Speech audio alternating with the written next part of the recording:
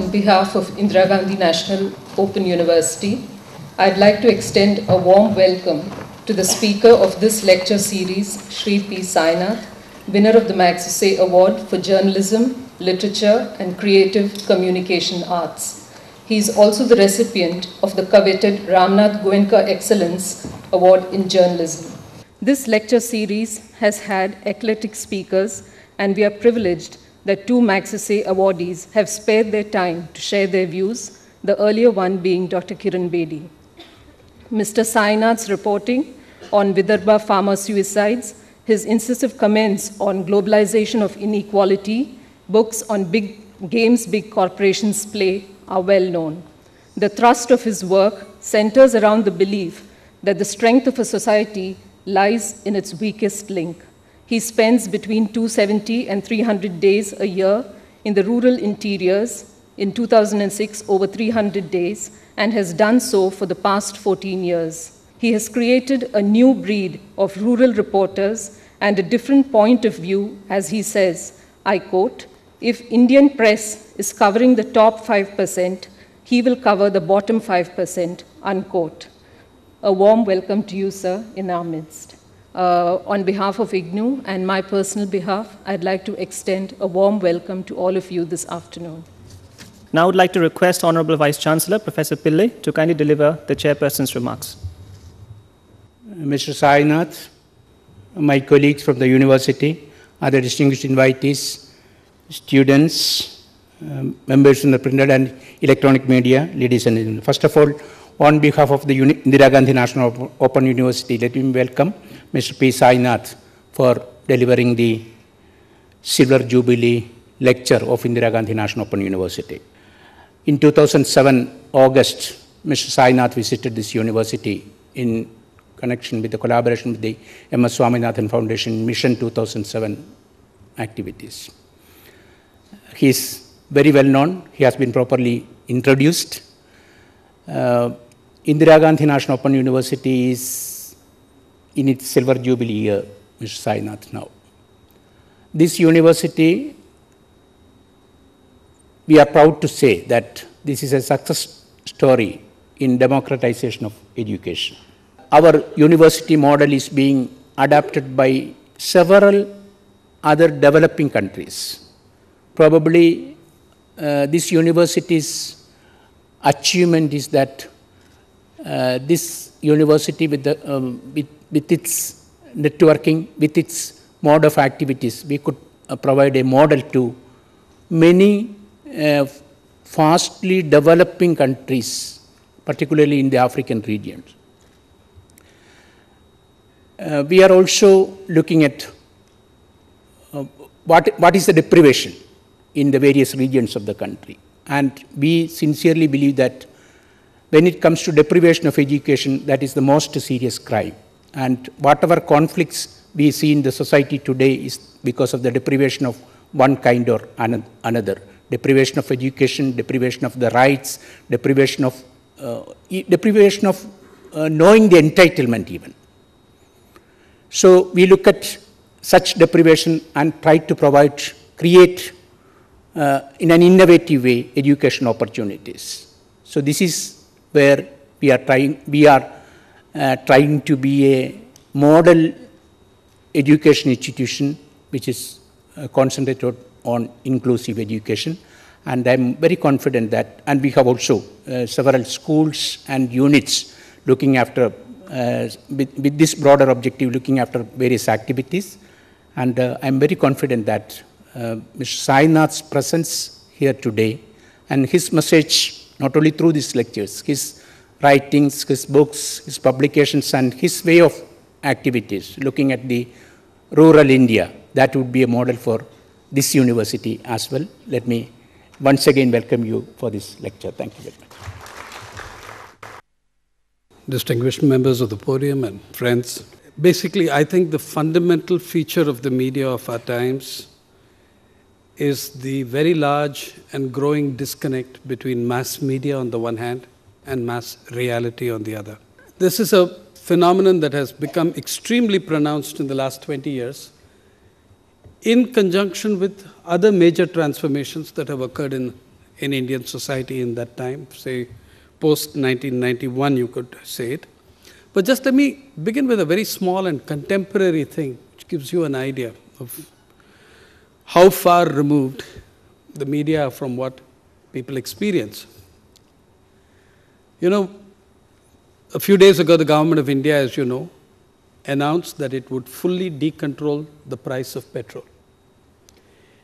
Apart from fully decontrolling the price of petrol, which, by the way, comes at a time when food inflation is running at 17%, general inflation is in double digits, crossing 10%, food prices are at their highest in living memory in this country. Uh, at that time, we have gone in for a full decontrol of petrol, a substantial decontrol of diesel, and for the first time in quite some time, a rise of as much as 3 rupees per liter in the price of kerosene. These are very major moves. Two things strike you when you look at the papers. Now, I don't, I'm, I'm not looking at the Delhi editions of the papers, sorry, I'm looking at the Mumbai ones. But one, uh, one which would be common, whether Delhi or Mumbai, almost, almost without exception, well, there are one or two exceptions, but across the spectrum, the newspaper editorials have congratulated the government for its bold decision and wonderful action in decontrolling this thing and saying the old anomalies must end. It's a very, very bold step. Now, incidentally, ministers of government are playing it down. Ministers of government are trying to say, we didn't do this. That is from the ruling party. We have nothing to do with it. We are registering our protest. Okay? But the media are way ahead. They are championing the cause. Of what? And whose cause? That, you know, we can, we can go into a discussion of what exactly, why exactly this measure was taken at this point in time. But uh, that kind of triumphalism over an issue that, you know, which the Prime Minister is very clear, very, very carefully makes sure that the announcement of the decontrol is done while he is away in Toronto. And where, by the way, he is lecturing the members of the G20 on the need for inclusive growth. Yeah? And he makes sure he is away from the country while this announcement is made in Delhi of decontrol of petrol prices to give you inclusive growth. The media are the cheerleaders in this whole process. And just a little before, a few days, couple of weeks before that, I read what I think I must rank as the nastiest editorial of its kind in a very major newspaper. In, well, you know, in, on September 20th, I complete 30 years in journalism. I think it would rank amongst the 10 most despicable editorials I've read, and I've read a lot of them, where the editorial, I'm told scripted by the editor in chief himself, basically says about the Bhopal gas tragedy. Now let's move on. We've got to change this place so that tomorrow, see, they say, look at, look, you go on living on this thing of the Bhopal gas tragedy. No company in the world can proudly announce to its investors that we have opened a unit in Bhopal, number one. Number two, there is not a word of criticism of carbide, of the crime, nothing. It says it's a pity that justice took so long, as if justice has arrived in the first place. And it concludes the only attack, the only attack in the whole editorial is on the activist industry that has milked this tragedy dry. There is no attack on the criminals of Bhopal. There is no attack on who was responsible. There's no attack on a government, uh, you know, on successive governments that have dealt with Bhopal the way they did. But there's an attack on an activist industry for milking it dry. You know, it's almost, and, and you, you ought to make Bhopal proud, or you ought to make Bhopal so that companies can be proud to say we have opened an industry or a factory there. The entire approach in the editorials to the petrol decontrol and to the, uh, to, I mean, in that case, to the Bhopal gas tragedy. A lot of other editorials reduce the whole thing to bringing back Warren Anderson, which to my mind is the least of the issues in, in, in order of priority. Once again, it rubs home how distant the media are, mass media are from mass reality. I do a small exercise every few months or at least every year in the building where I reside. It's nominally my home because I travel most of the year. But in the building where I reside in Mumbai, and it tells us something about the society that we've built in 20 years. The, the building where I reside in Mumbai, there is a, a bai, a lady who services about 10 flats in the building. Every few months or every year, I exchange notes with her on about 20 or 30 items of expenditure. Now, she, by the way, is a farmer. She's got land in Raigad, but it's not enough to support the family. So she works as a domestic servant in Mumbai. And as you know, all these people of this class background make it a condition that they will only do indoor work for status reasons because they are landed farmers. Now, after quite some time, I put out my lists and I found that everything that is a convenience in my life, everything that is urban, upper middle class, professional, everything that is a convenience in my life has become dramatically cheaper in the last 10 15 years. Eh, 17 years ago, we used to have strikes in the newspapers for raising transport allowance or conveyance allowance by 250 rupees. Today, those who used to go on strike for that all have cars supplied by their companies with drivers, or at least an allowance for a driver. Air conditioners have become much cheaper, cars have become much cheaper. Now, the bai, absolutely everything in her life has become 300 to 500 percent more expensive. 15 years ago, her minimum bus fare was 25 paisa. Now her minimum bus fare is 5 rupees for single stop, whatever. Rice in those 15 years for her has grown, got, the price has gone up by several hundred percent. Mind you, she's a producer of rice.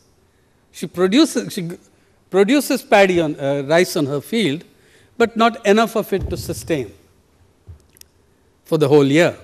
So she works in Mumbai.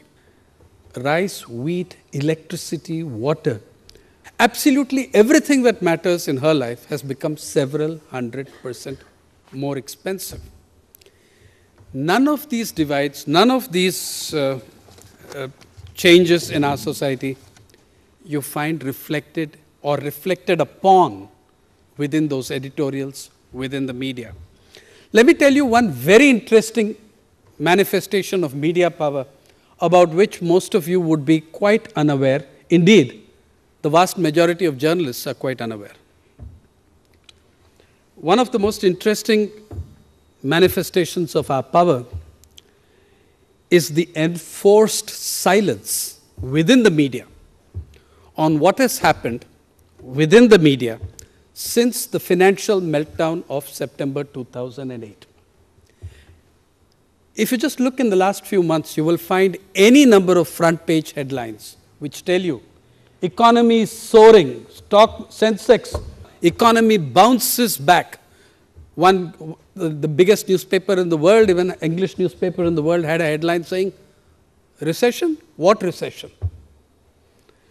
Uh, now, in the same period of this tremendous economic comeback, soaring growth, tremendous success, recession, what recession?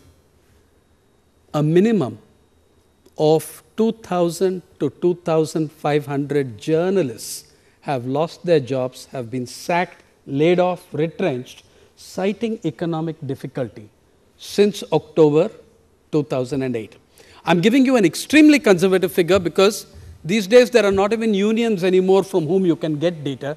What a few of us could confirm in about four or five states, for instance, Maharashtra, three groups, three TV networks, and one newspaper have sacked 450 journalists since October 2009. One of those big groups vanished 252 jobs one day at the stroke of a pen on the grounds of economic difficulty.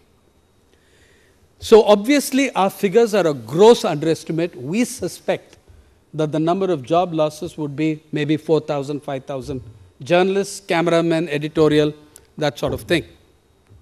Okay?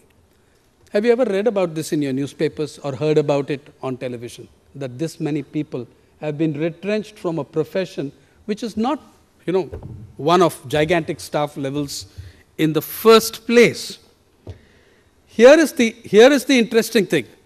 The very newspapers and channels that are retrenching journalists by hundreds and thousands are the ones that are every day telling you on the front page that the economy is booming, the Sensex is soaring, there is no recession. Incidentally, two of the largest newspapers in this country issued a fatwa to their desks in writing you will not use the word recession for India. Recession is something that happens in the United States. In India, you may use the word economic slowdown. Okay?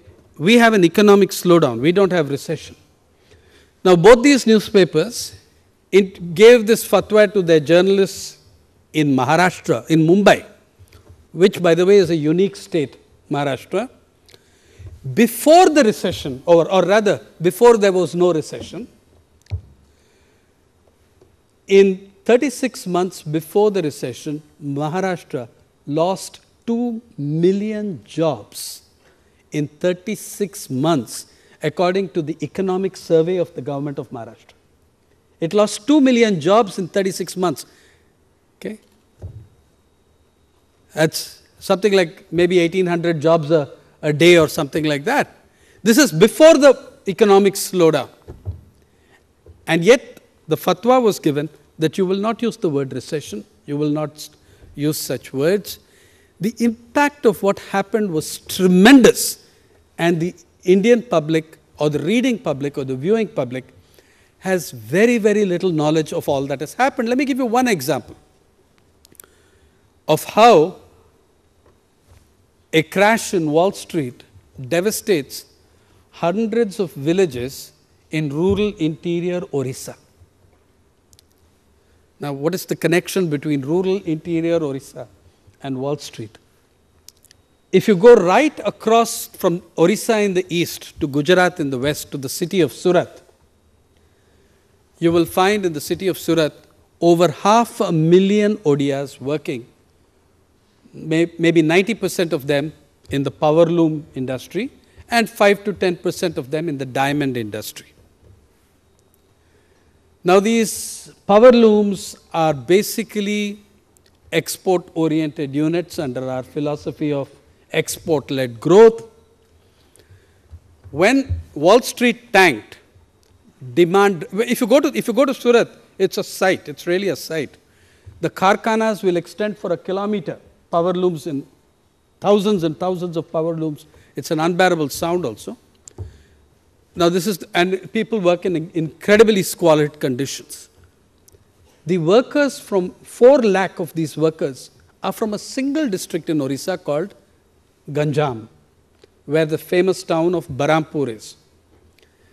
The most highly congested railway station in the east is Berhampur, and about 90% of its passenger traffic is migrant laborers going to work in Surat. Berhampur workers work, I mean, Ganjam workers work all over the country. You'll even find them as plumbers in Ladakh. However, 4 lakh people work in Surat. Wall Street tanks, the, the export led units in Surat are absolutely smashed. Demand dries up tens and tens of thousands of workers are laid off from the power looms. They go back to Berhampur and Ganjam, which in the first place was never able to give them employment and leading to immense social tensions and problems within that part of the Odisha, Odisha, Odisha countryside. None of this, none of this appears in the media where you're being told that there's a tremendous comeback, the economy is zooming back, etc. Incidentally, I have to tell you that the loss of jobs of journalists on such a large scale is not restricted to India. In a 12 month period, straddling 2008 and 2009, the number of media jobs lost in the United States, according to editor and publisher, which is one of the most distinguished, it's a 108 year old journal of the United States. It's a trade journal.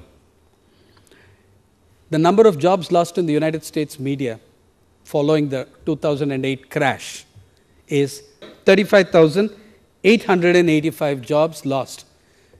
Fascinatingly, editor and publisher, which is the trade journal, publishes this figure, and then everybody in editor and publisher lost their jobs because that magazine closed down.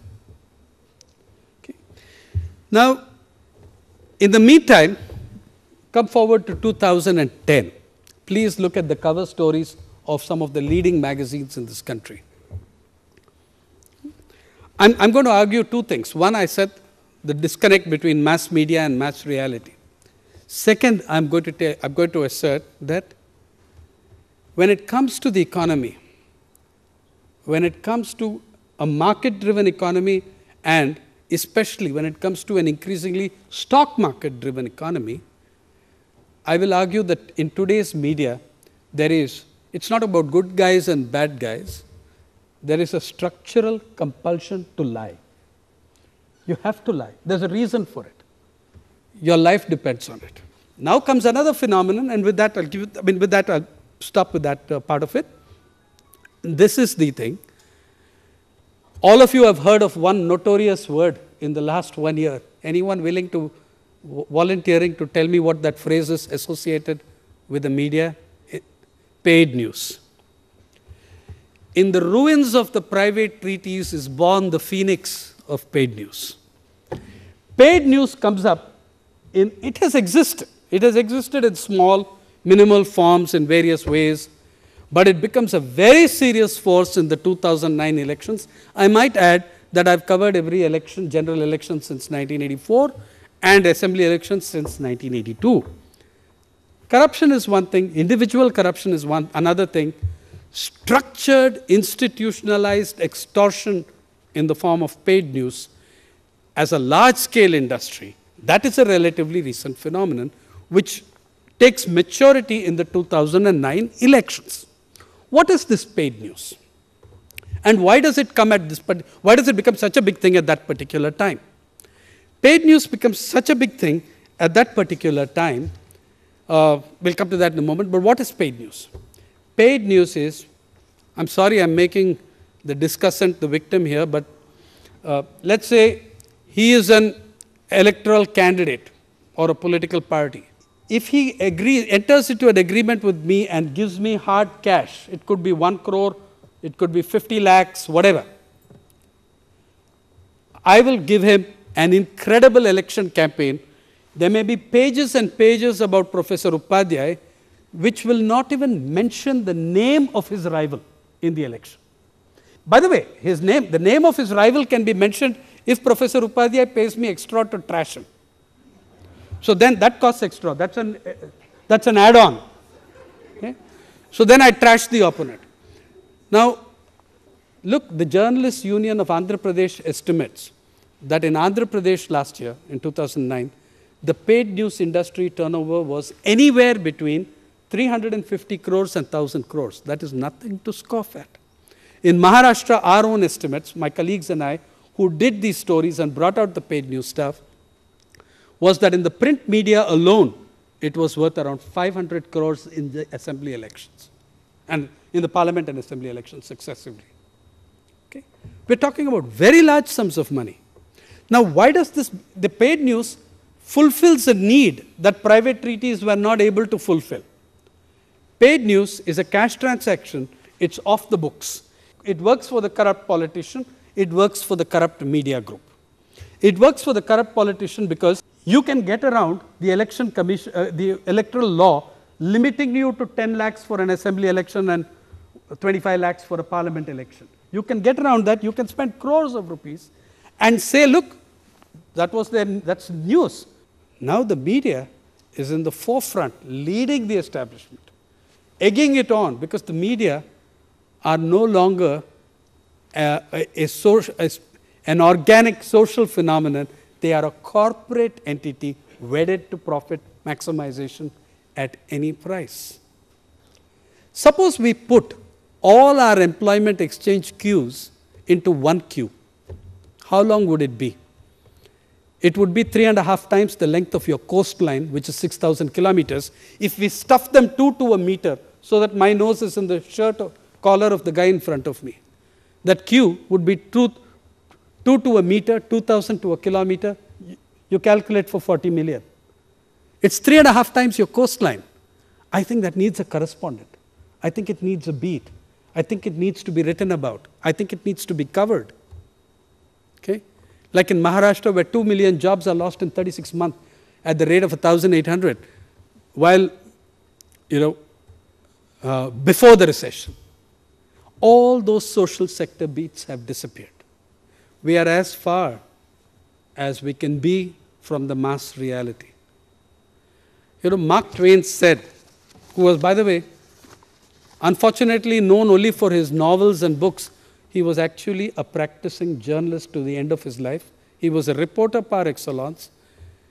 And one of those rare things, he was a reporter with a sense of humor. Um, Mark Twain said, and I keep this in my notice board at home to remind myself of what we mustn't become. He said, Yours was not in the beginning a criminal nature, but circumstances changed it. At the age of nine, you stole sugar. At the age of 15, you stole horses. At 19, you stole money. And at 25, you committed arson. At 30, hardened by crime, you became an editor. Thank you.